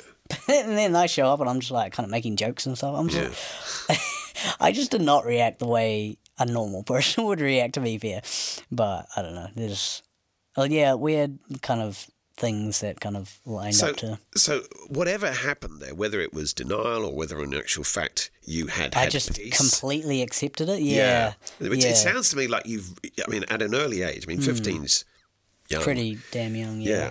Uh, I mean, also, I mean, we, we, we should be know that you know between the in the teens anyway, we're questioning our existence anyway. So if Hmm. if you're able to come to that point, I think that was probably the start of my spiritual. Mm, like I was, I've always been philosophical. Mm. Like you always want to ponder about life and things like Yeah. that. But I think that those that just bizarrely not normal situation made me really think like, what's going on here? Like it was, it was just strange. Like you're like, there's so many things that kind of led up to it, and the fact that I kind of felt it coming, which is weird. Like, and the fact that the way I reacted, it was just like, yeah, like almost peace. Like, yeah. yeah, it was, it was just weird. Um, so and and that's uh, so that. I mean that that's uh, so relatable in many ways. Hmm. Um, not wanting other people to perceive you as a victim, yeah. as a victim. well, for me, yeah, it wasn't maybe also that. It was just I didn't want them to feel bad. Right, Because yeah. I didn't. yeah. Do you know what I mean? Like, because I know that if I brought it up, they'll, they'll be, oh my god, if that happened to me, like I would, I don't know what I'd do. So a lot of friends would be like that, and I'm just like, I don't know. Like, I hope everyone could feel like I do, because I really didn't. And that makes me sound really cold, and as if I didn't love my father. My father was like, me and him were really close. Like, right. Yeah. and, and that's why I think it shocked everyone around us because like like especially my family they're just like yeah it was just weird it was very strange yeah it was a weird time definitely a weird time So, here you are. You came to me a year ago. You're learning to sing and doing really well in that, by the way. you got a lot more resonance than you ever had. And you've spoken about things. And I wanted to just pick up a little bit on a couple of things that happened with you. And you- had something happen to you at the in last year, uh, a moment of singing with someone. oh yeah And it was like a first. Yeah, yeah, oh, yeah. Like so, I um, my best mate's cousin. She's a great singer, and we were just having drinks at her house, and you know, I told her I was like taking singing lessons and stuff, and then she's like, "All right, come on, go to her room," and then she's like starts putting on some music, and then played. Uh, she was like, "What do you want to play?" I was like, "Oh, just play Hallelujah," and then she played like a different version of it, but then like we sang, and it was the first time I could belt in front of someone, Right. and that was like yeah, it was it was a really good feeling. I mean, I'm sure the drink helped a little bit, but but it was just because for me, it's just an annoying thing that I can't. Because you know I'm quite soft spoken. I don't really speak loudly, and when you belt, you really do have to go above a certain decibel. Yeah, yeah, that yeah. for me is just not acceptable in normal normal mm. scenarios. I don't know. Like I have weird kind of mental barriers on that, and so it was nice to be able to let go and be free to sing freely, yeah, and and just belt. And then so a friend of ours came in and listened, and that was the first time I could belt in front of another person Right. who wasn't singing, you know, at the time. Sorry. I have terrible burping problems. And burping's a great way to release stress. And I had a student who came to me once, and every time he went like this, he would look at me and he'd say, "I am just healing." Immediately. yeah. Um, and then so and then yeah, so the friend came in, and then uh, and then my best mate came in, and yeah, was still singing Hallelujah, and uh, like he cried. Wow. Which cool? which is like probably the best compliment you could have because you know Yeah. I'm still just I'm such a perfectionist, and I'm like. I'm like, oh, that bit needs work, that bit needs work, but like to an average ear, probably sounds like all good. Well, I, I, well, I'm I'm loving it. yeah, I'm loving what you're doing. And, I, and I, I really the- need to get to a point where I'm satisfied, and that's going to take longer. Well, yeah, but let- let's have a look at you as a as a journey as a whole. I mean, let's just be really real here. Hmm. You come from a place where you thought you were unworthy. You come from a Hmm. place where And yeah, like th- this, I have definitely had a good thought about, and I'm like, why is it that I am so stifled, essentially? And that it's probably like from when I was a kid, and like I was expressing some sort of expressive behavior, being loud and this and that, and I just got told like, or even just a stern look, well, you see, that brings up another thing, doesn't it? Hmm. You couldn't be loud here, so you were allowed here. oh yeah, well, You were yeah. bigger in your you were bigger here in the personality, right? I mean, yeah, I was as a. To be fair, when I was in school, around my friends and stuff, I was always loud and this and that. You know, Yeah. more myself, I guess.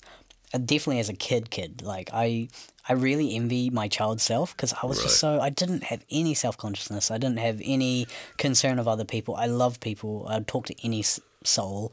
Like there was no fear about that, and there was no. I could just totally be myself, and people love me for it. And I wish I could be like that. Like now, I just think way too much. But I, but I think that's that's what happens with, to this philosophical man. And when I say man, I mean everyone. yeah. Um.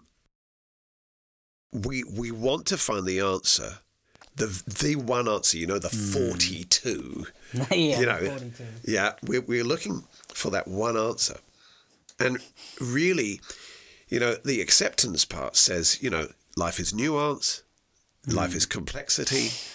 There isn't a one answer. Mm. But the biggest answer, and I think it's one of the best answers that you've given today, was mm. I love me. I like who I am.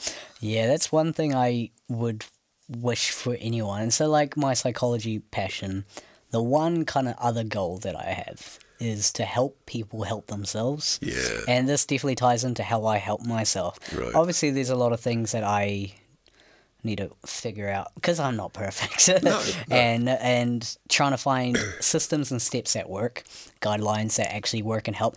I do it with my friends, you know, helping them out with emotional problems because like I great give pretty good advice, but I really do want to help people. And the main message is just to like yourself. Like love yourself is just thrown around way too much, and Mm. Yeah. people find it too cheesy and corny, and it is to be fair, but. At the core of it, it's just like yourself. Yeah. So many people hate themselves, Yeah, yeah. and that's terrible. Um, and if people just generally like themselves, every single human on the earth would be a lot happier. there would probably be less wars.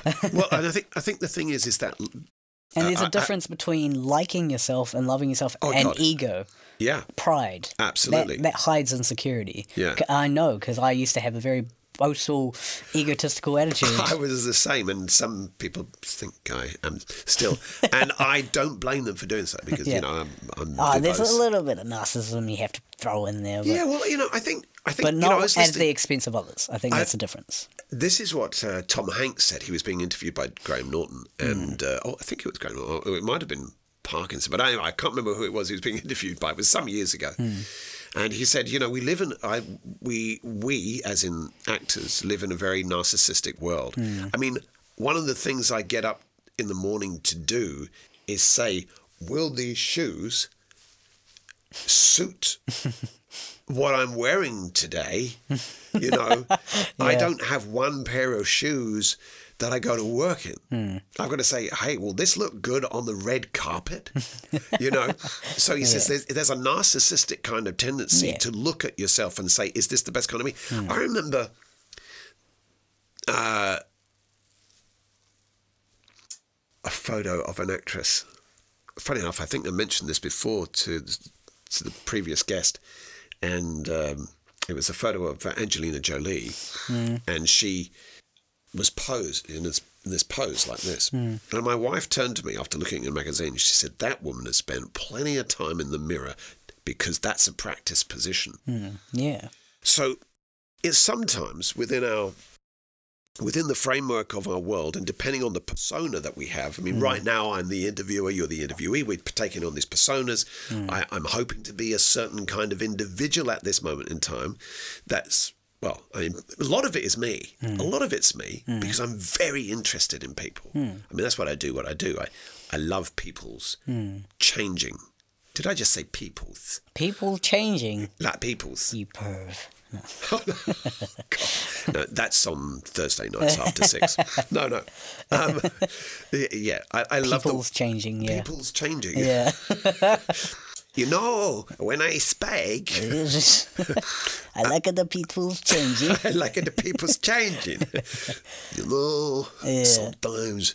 Um, but You like people, yeah. Like to be fair, I used to love people, but somewhere along like maybe teenagehood, I just became a bit more self conscious, and maybe some random comments here and there made you feel more self conscious, and then you became aware that other people can say things about you that's not very nice. It wasn't even anything not like intense bullying. It was always just like some sort of side comment. Um, just maybe out in town or whatever it is, like, oh, you're so short. That was a big one for me. For a long, so I wait a a- minute, wait a minute, hold on. You're so short. That was a big one. Yes, pun intended. Yes, it- Nah, I I have a big complex about being short for a long time. I mean, How very- tall are you, man? Five two, man. Like, 5'2". That's tiny. Yeah, you, you, you, But you, I, were, I'm, you're the same the thing, I'm size as my wife. but I'm Asian, so I get away with it. All right, okay. But the thing is, I was so insecure about that for so long, and Mm. like, especially going to clubs and things like. Because you look, I looked younger too. Without a beard, my god, I looked Yeah. ten. Yeah, and yeah. then, and then you're short. You literally, people. That was the main thing. Would be like, "How old are you? How old are you? How old are you?" Yeah, the Everywhere go. eighteen-year-old you, with Yeah. the with the with yeah, the with the, fu- puffy, the fu- yeah, the You were like baby five fat. years old. Exactly, five years old, short, and like you go in the club, people would just literally double tape, be like, "Are you allowed in here?" Yeah. and it really got to me. I've like, had drinks bigger than you. you know, I can laugh about the fact that I'm short now. I don't know because I've accepted myself completely, but it's just like I, I am short. Like there's not much I can do about it. Yeah. I mean, when- you came in, when you came in the other night, or the other day, there was a Hmm. guy who'd come in just before him. I think it was Cam. He was he was very tall, Oh, wasn't he? yeah. And you were, you know, Yeah, two. yeah. And so, um, I, I, I've got to admit, I was very conscious of that at the time. Yeah, You know, um, that's one thing. You know, that's Hmm. one thing. We, we you you can do a lot about this. You can't do much about yeah, this. Yeah, I mean that, and that's that's the thing. It's like at the end of the day, if there's nothing you can do to change it physically with yourself, sure you could get surgery, but that's just a bit excessive. Yeah. um, accept it. Just there's not much what do you do. And this is the, this is the thing where I think whether it's this way or that way, Hmm. you've actually shown this evening that um, it's it's the mind that matters most. Yeah, hundred percent, hundred percent. Because there's bloody tall people who are insecure. Like Yeah. you know, six foot nine people who are like, "Oh, I'm too tall." Yeah, well, they, Which they is hun- hilarious. they hunch over. Yeah, Yeah. yeah, And then there's obviously the, the small man syndrome of trying to be all big and tough Yeah. when you're tiny. Puff out your Which, to be fair, I can be a bit of a. Oh, I used to be a bit of a Scrappy Doo when I was a kid. Scrappy Doo, you know Scrappy Doo? Like, Yeah, like Scooby Doo? Like, uh, like, always feels like he's 10 foot tall and bulletproof, and like, just you're tiny, so you always feel like you need to prove yourself. But yeah, you just But kind of. I think everybody has the the um, the projected hero. Hmm. So I mean that's why we go to the movies. You know, we, we, we want to be the hero. Yeah. Some let somebody else do it for us because that's that's a, that's a far better place to be. Uh, but being the hero in your own story, uh, that's a bit of a cliche, but I think it's important. Yeah, definitely. We develop the hero narrative for us. Yeah. I mean, how do you do? You feel like a hero to you, for you? I'm not talking about anybody else. I feel like a hero for my fat self. Right? Because I really do believe they're two different people, completely. He was a wanker. No, I'm only kidding. So, I loved him, but he didn't love himself, Right, unfortunately. yeah. And th- I, that was a lesson I didn't learn for way after the weight loss. right. Uh, yeah, at the end of the day, you just just didn't like it was too much. Yeah, with the relationship thing, it was always relying on other people's validation Right. To make yourself feel good, and that's still continued in relationship. The neediness thing, and again, it's like neediness is always wanting more from the other person to give to you. When if you're just fine on your own, and you have someone else there, you have to be cool together. Like Yeah. two people, two individuals that are just good on their own, doing their own thing, but Yeah. come together. That's synergy and that's Yeah. love. Um, whilst if there's one depending on the other, emotionally, whatever it is, it's it's always gonna So rather than unbalance it. codependence, Codependence, yeah, more more interdependent. yeah. Yeah. Yeah. So you're dep- Yeah. you're independent. Maybe not inter interdependent. Well, like you don't need to be de- dependent on anyone. Actually, No, but but interdependence is where both of your um, independence can- intertwines. yeah, yeah, intertwines so much so that. Uh, it's not a question. It's not a question of completion. You would be complete Yeah. Without the individual, but what they do is that everything. It's it's it's a chess It's just piece. it's an enhancement Yeah. to your life. See, that's a bad cliche and uh, stereotype that people have is I need this other half, this my soulmate to complete me. Hmm. That already kind of reiterates that you're not enough as is, and you need this other person to make yourself feel good about yourself, and that's never. That's just always going to end bad.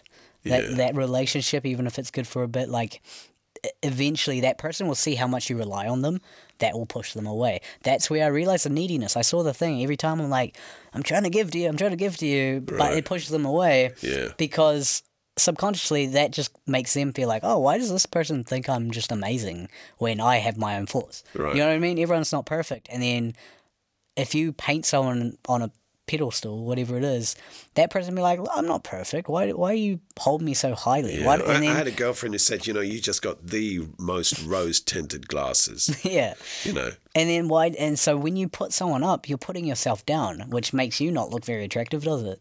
At the end, of, and then they see that, and you're like, oh, I don't really want you.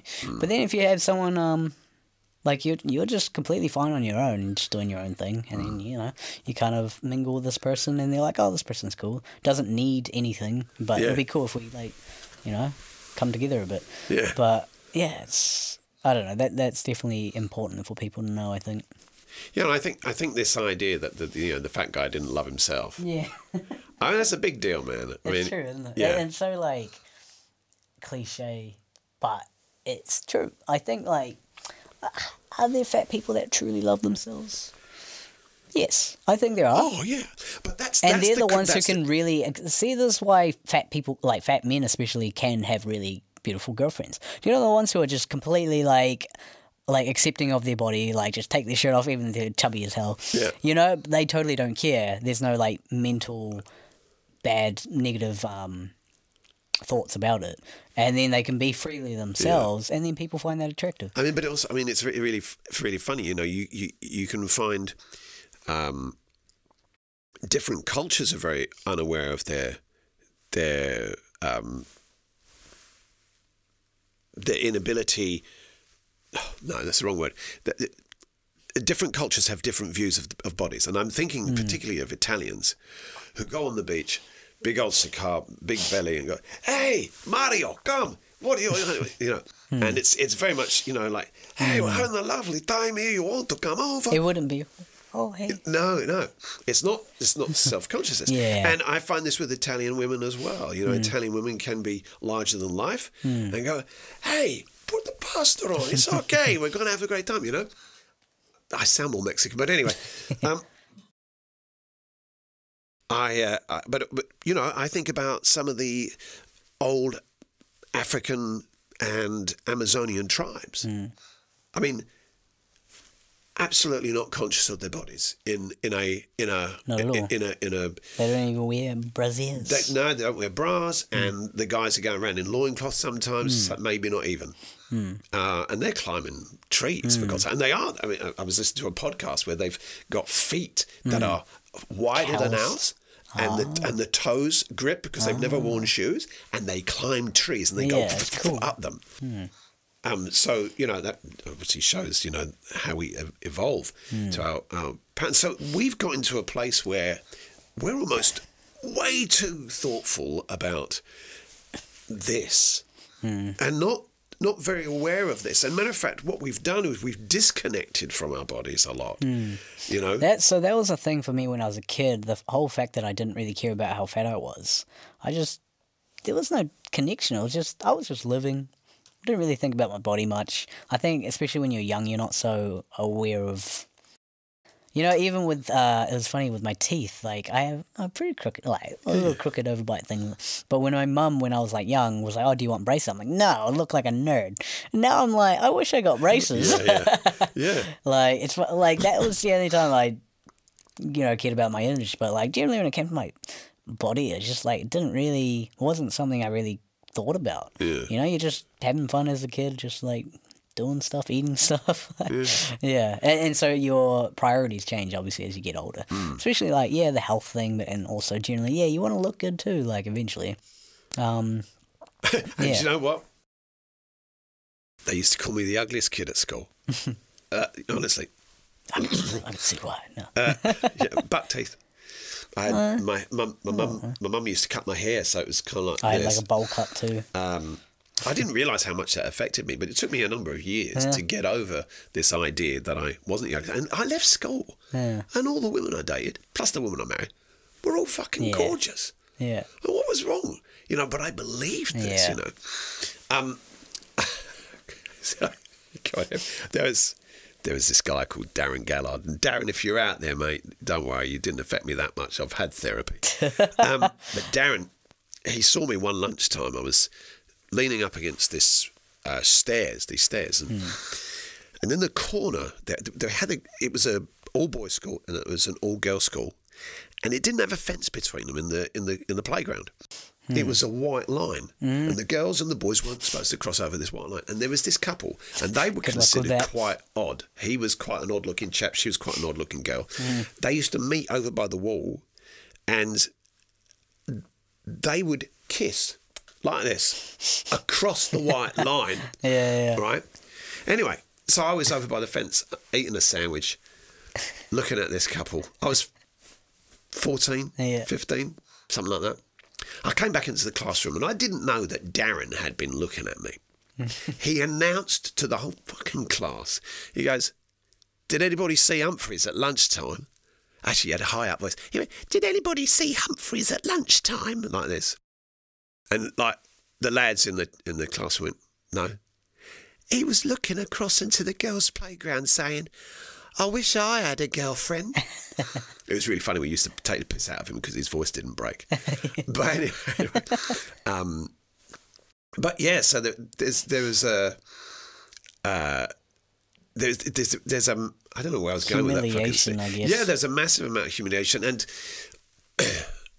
and we are so conscious. Like I say, we're so conscious of of this hmm. massive disconnect, hmm. and we tend to find often our happiness is one place or the other. Hmm. Very rarely do we actually. That's why I love meditation. That's why I love this idea of of exercise. I think exercise, the very thing you're doing, is a mind body. It's it's philosophy. Definitely. It's philosophy. It's psychology. You're overcoming the physical. I, I really think what you've told the story of today is not a story of, like and I said this before about the body. It's not a story about changing the body, but it's But it's definitely philosophical, really, at Yeah, the heart of it. yeah. Um, What the hell is that noise that I keeps really- buzzing? I don't know. It just keeps buzzing. There's a buzz in here. It's all right. And they won't hear it. Well, I'm hoping not. But yeah, because I realized, you know, it was like a turning point in my mind, be like, oh, so you can change these things. Yeah.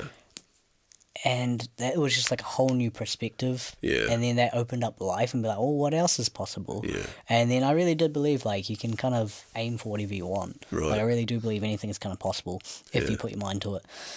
Sometimes you do need that motivational factor, Yeah. whatever that is. Intrinsic's the best. It comes from you. Yeah. It comes from within. Um, but sometimes you just don't want enough. Like now, it's like I don't really care that much to my, to be honest. But like, that's peace. yeah, But, I mean, because you're, you're not. and acceptance. yeah, peace and acceptance. See, that's peace. At the You- same time, it's kind of like yeah, I'd like to do that at some point, but there's just not that annoying like yearning to Maybe you to need to cut it. out your carbs. Oh, I might do that. No, Um, but sometimes you like to hmm. do a little bit of it, but it's just not so intense. Yeah. Yeah. Hmm. Well, bro, look, we've had a bit of a conversation here about all kinds of things, and I, I, I, I the, the the purpose of this podcast really is about ordinary people. Hmm. No one, no one knows you in the world. They will now, but th- nobody knows Hmm. you in this world, right? You're not a megastar. Um, Not yet. Not yet.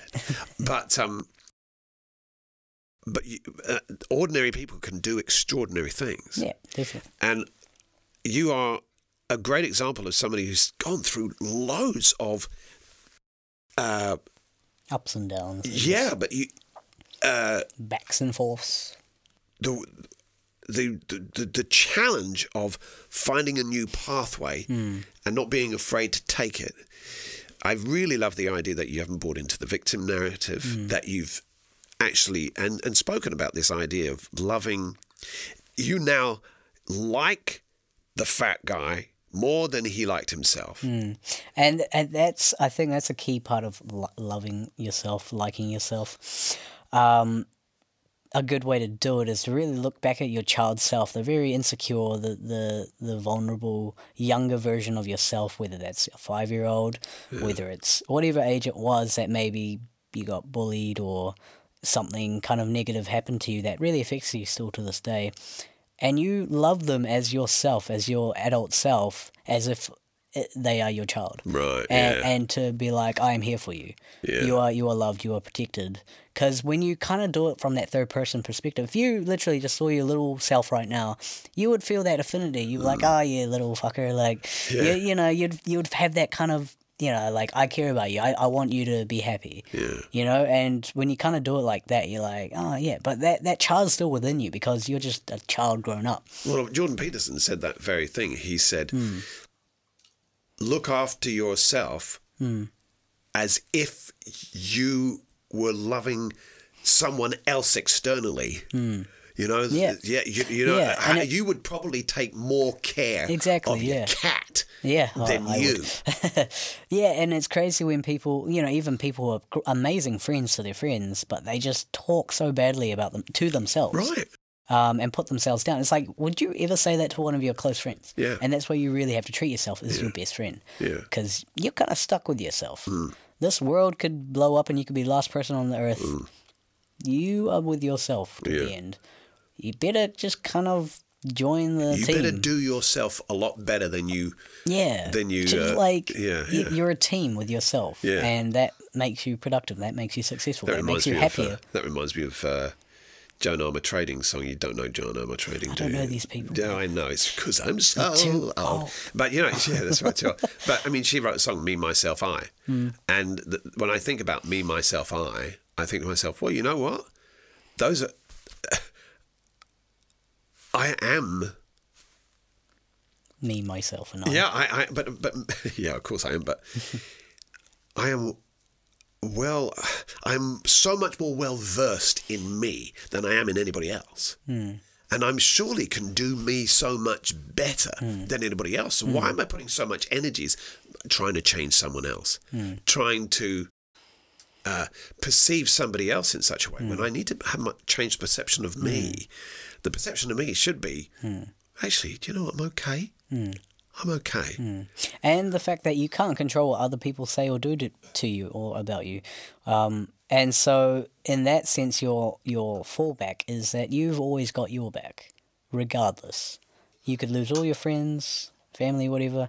People could say horrible things to you, but at the end of the day, if you truly just have your back, you can kind of get through anything. Yeah. And that that's the key to resilience and mm. being able to overcome adversity, whatever it is, because you have that stability within yourself. You don't need that external That's right.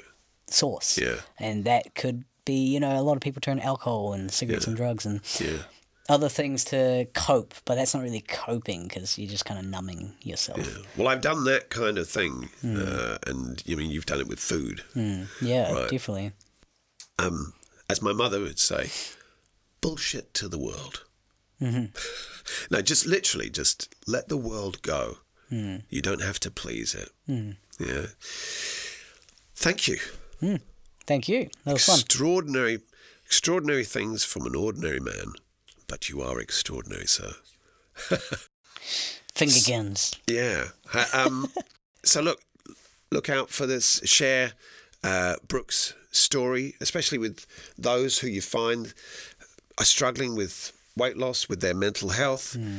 Uh, because you definitely got a story that's well worth hmm. talking about, and I hope to have you back again, hmm. six months, see where you are. Let's see, You know, you might have might have said, "Hey, Charles, look, I'm eating 25 kgs of carbs each day." Jesus, I look like a potato. How would you look like a potato? I look like a dilly dee potato. Potato right. Um, all my Irish friends, hello. Don't take offence. Yeah, no, please To take offence. Take offence. Irish. There's nothing butchered about this at all, at all, at all. Oh, it's pretty butchered. Okay, it's fairly, fairly butchered. Uh, Brook, once again, thank you so much. No worries. Uh, that was fun. Yeah, that was a bit fun, wasn't it? Just chatting about shit Having that really mattered. Yeah, Yeah, it was good. yeah. So uh, It's a nice purple cheese you got. thank you very much. Uh, cut. Cut. See you later. I want to thank all the Patreon, PayPal, YouTube, and Facebook subscribers for supporting this channel, along with those who have already casually found the purple chair. Please like, subscribe, and press the notifications bell. That really helps the channel and it lets you know when new content is available. The Purple Chair interviews are for you, hoping to inspire you in your own endeavours. If you haven't already signed up to the other channels, a list of them is available in the description.